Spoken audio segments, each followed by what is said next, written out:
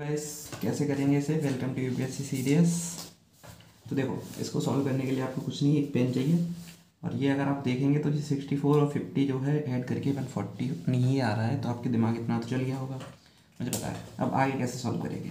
तो इसे हम लिख सकते हैं सिक्सटी फोर प्लस फिफ्टी का स्क्वायर हाँ बस हो गया solve sixty four plus fifty का whole square minus sixty four square minus fifty का स्क्वायर ठीक है?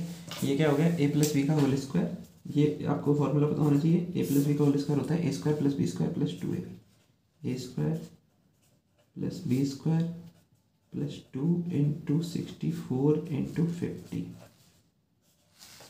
ठीक है? और ये आपको क्या दिया? माइनस सिक्सटी फोर का स्क्वायर माइनस फिफ्टी का स्क्वायर ठीक है?